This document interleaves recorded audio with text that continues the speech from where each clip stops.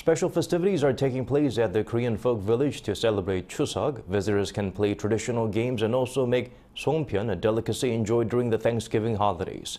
Lee Shi-hoo starts us off. Chuseok. It's one of the biggest holidays here in South Korea.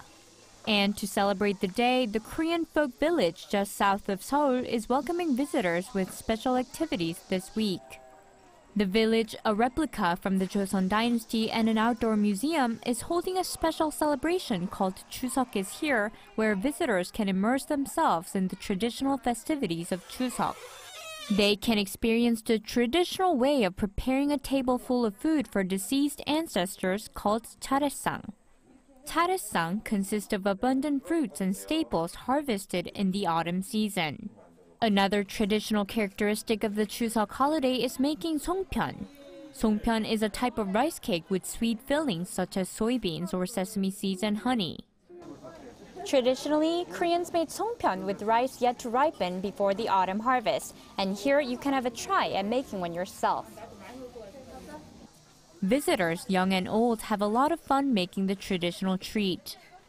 In the past, autumn was a time to prepare the fabric needed for the cold winter ahead. And ladies of the household participated in silk weaving. The traditional method of making fabric involves extracting thread from cocoons of silkworms that are set afloat in boiling water. Visitors in awe at the rare sight also take part in the activity. Also ahead of winter, people in the past used to thatch their roofs with straw. Straw was also used to make bags to carry grain. And there were people whose job was to fix the straw used for such purposes. Visitors who got to have a sneak peek into the past shared their excitement. And we are happy to see different uh, kinds of houses, uh, traditional houses here. Uh, in addition to that, uh, there were blacksmith, goldsmith, and some uh, the way they make the mat uh, I, it was very interesting for me and my child, my kids.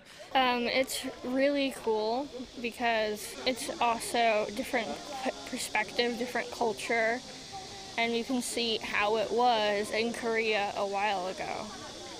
Entrance to the village costs 32,000 Korean won for adults and 26 Korean won for children, around 23 and 19 US dollars respectively. This special holiday celebration will last until next Monday. 이시후, 아리랑 뉴스.